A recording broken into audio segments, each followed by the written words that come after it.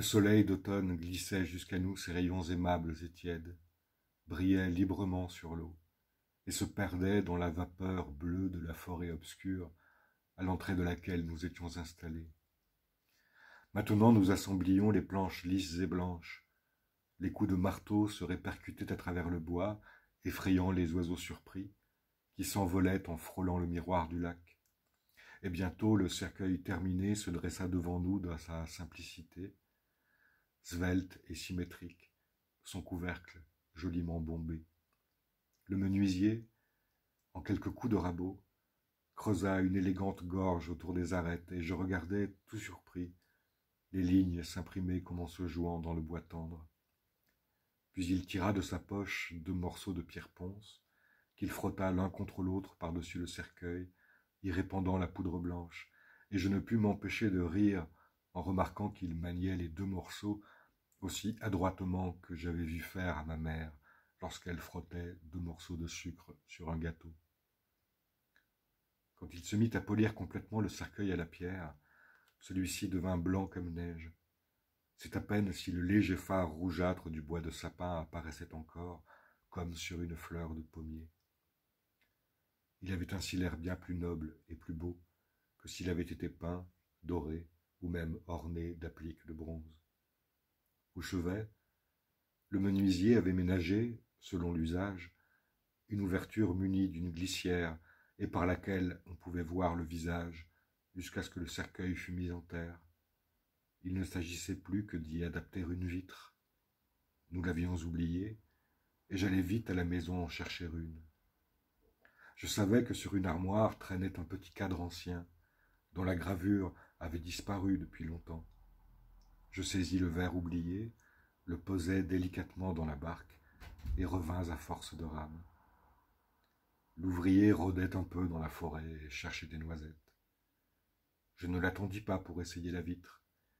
Quand je me fus assuré qu'elle s'adaptait à l'ouverture, je la plongeai dans le clair ruisseau, car elle était toute poussiéreuse et ternie, et la lavai soigneusement, sans la briser contre les cailloux. Puis je la soulevai et laissai égoutter l'eau pure.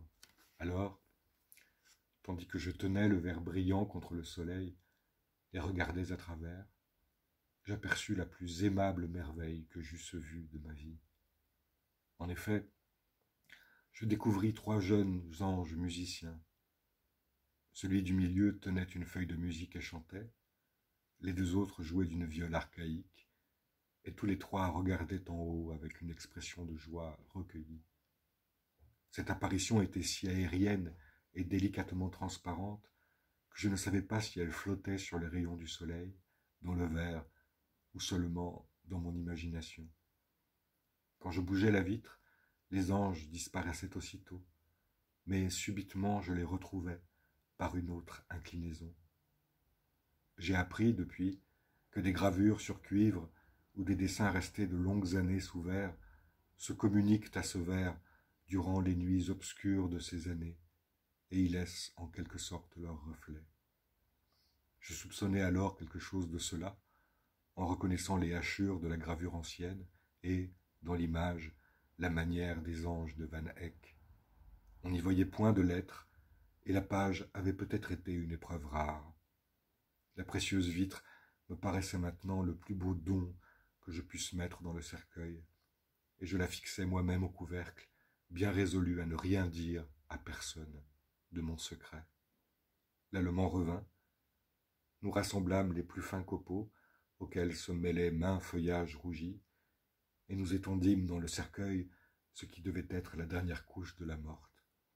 Puis nous le fermâmes, le portâmes dans le canot, et avançâmes avec notre clair chargement à travers le lac brillant et paisible, et les femmes, avec le maître d'école, éclatèrent en sanglots quand elles nous virent venir et aborder.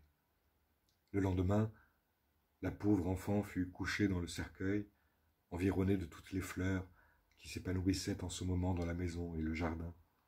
Sur la voussure du cercueil, on déposa une lourde couronne de rameaux de myrte et de roses blanches que les jeunes filles de la paroisse avaient apportées, et, de plus, tant de bouquets divers de pâles fleurs d'automne que toute sa surface s'en trouvait recouverte, et que seule la vitre restait libre, à travers laquelle on voyait encore le blanc et délicat visage de la morte.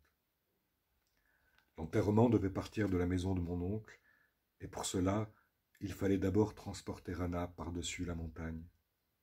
C'est ainsi que parurent des jeunes gens du village, qui prirent à tour de rôle la bière sur leurs épaules, et notre petite suite de proches parents accompagnait le cortège. Sur la crête ensoleillée de la montagne, on fit une courte halte, et la bière fut déposée à terre.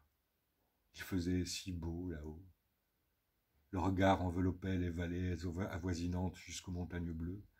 Tout le pays s'étendait autour de nous dans la magnificence de ses éclatantes couleurs. Les quatre vigoureux gars qui avaient porté la civière, les derniers, se reposaient sur les brancards, la tête appuyée sur les mains, et regardaient en silence vers les quatre coins du monde. Très haut dans le ciel bleu glissaient de lumineux nuages qui semblaient s'arrêter un instant au-dessus du cercueil fleuri et guigner avec curiosité par la petite fenêtre qui étincelait presque malicieusement entre les myrtes et les roses du reflet des nuages. Si Anna avait pu ouvrir les yeux, elle aurait sans doute vu les anges et cru qu'ils flottaient bien haut dans le ciel.